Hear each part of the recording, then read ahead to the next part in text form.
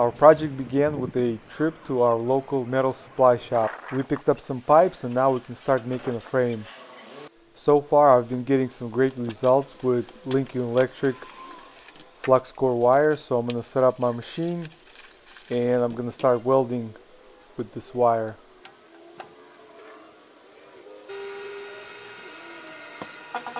Motorcycle axle bolts were kind of expensive so I decided to make my own. Bicycle seat post fit perfectly into the wheel bearings. I'll get to it in a minute but first let's start working on the frame.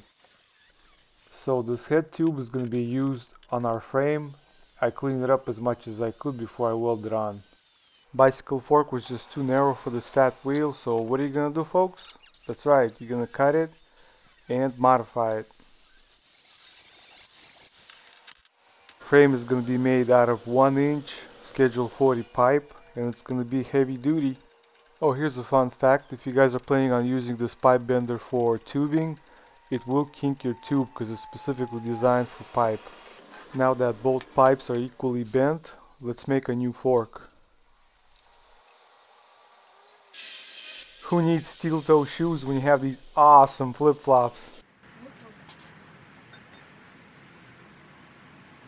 Can someone tell this guy to stop wearing flip-flops while welding? Now let's move on to the axle bolt. I'm gonna take the seat post, I'm gonna cut off these parts here. I'm gonna take regular car lug nuts, round off the edges and weld them on the inside of the seat post. Make the marks where I'm gonna make the cuts and then I cut it off.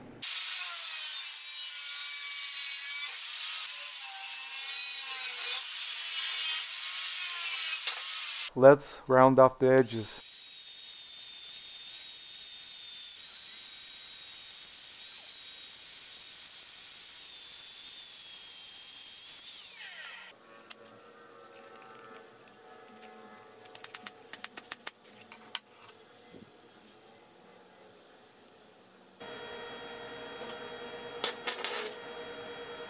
Now here's what the finished axle bolt looks like. It's hollow on the inside and sturdy enough to hold the weight of the entire contraption.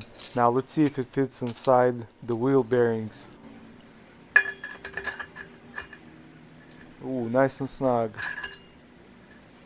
I tacked all the two metal pieces together and this is going to be my front fork axle bolt brackets.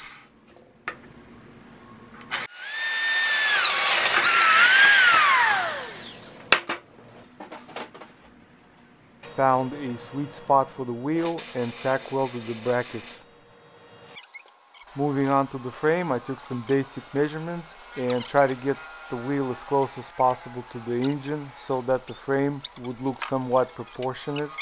This pipe bender is very limited to what it can do, but if you need to do anything more than 90 degrees, it'll probably kink your pipe. Here's how I check my pipes. If there's no gaps in between, then I got a good angle made the handlebars slightly shorter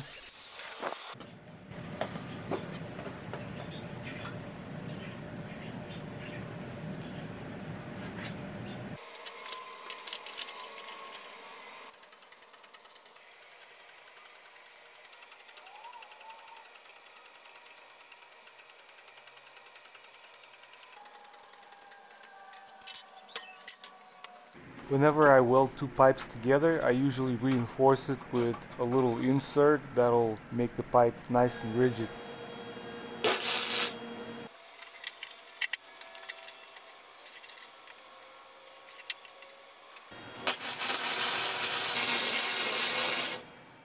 Filing down your welds will make your work look seamless.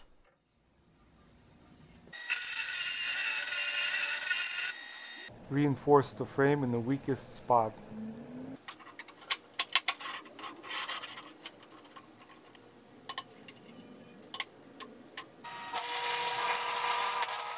Let's make engine mount, all I need is a small section.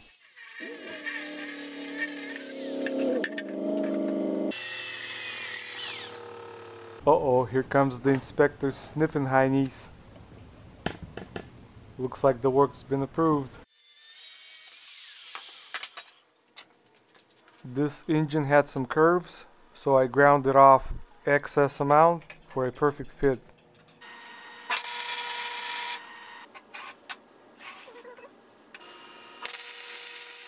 The same angle iron was used for axle bearing hangers. Found a sweet spot and welded the hangers to the frame.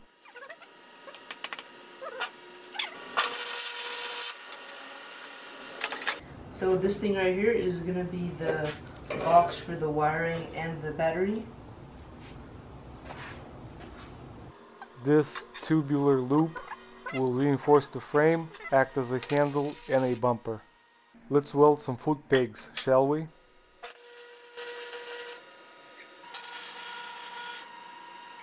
I'm also gonna add homemade chain tensioner right up here.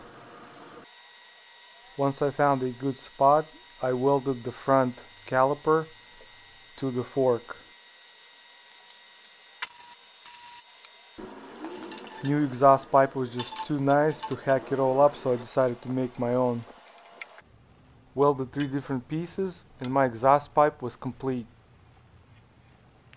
And finally it's time to clean up the frame and paint it.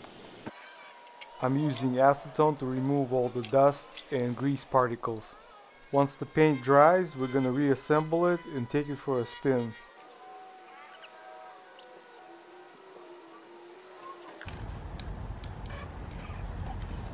This trike is going to be electric start so we bought a brand new battery and let's follow the directions and put some acid in it. This stuff is very corrosive, maybe I should wear some gloves. So basically you flip it over and let the sulfuric acid fill the battery. Once the fluid fills the battery you seal it up and charge the battery. Alright, so let's reassemble the trike.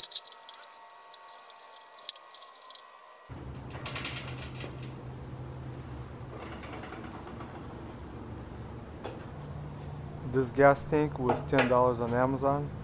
Start and kill switch right here. And throttle grips were like 12 bucks on eBay.